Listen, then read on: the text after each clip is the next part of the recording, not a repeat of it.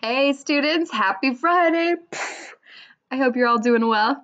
Today for reading, you get to do the quizzes from Dog of the Sea Waves on Quizizz.com. It's the comprehension and the vocabulary quizzes. I've assigned them to the class, so just find them on Quizizz, log in with Google, and they're right there.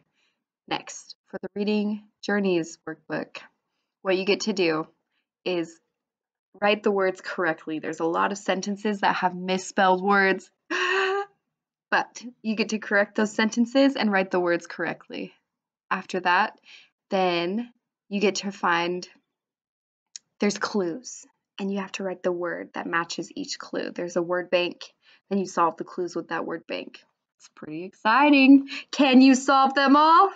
I know you can. Yes, smart kids. Next, for fractions. There's a little bit more of adding and subtracting fractions. Also, you have some questions today about how you, you need to describe dividing a shape. Now, this could be tricky because you're describing what you would do in drawing in words. So, for instance, one of them says, describe how you would divide the shape into two equal parts.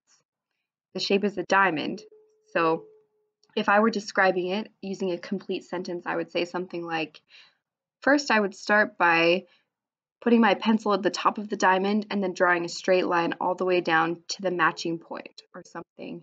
And that would show two equal parts. Or I could say, hmm, I would take the point most to the left and draw a straight line to the point on the right.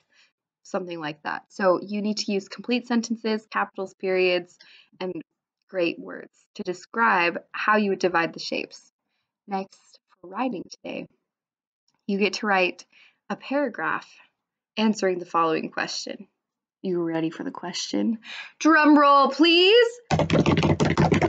And here it is. The question is Would you rather live in Hawaii with volcanoes or in Idaho with the coronavirus? Why? Be sure to state your opinion and give reasons in that paragraph. Use transition words, make it some of your best writing. It's not just to get the assignment done. I want to see your best writing. So state your opinion, say why you think that, give reasons, use transition words, do your best. Okay, finally, don't forget to do the daily check in and have a great weekend.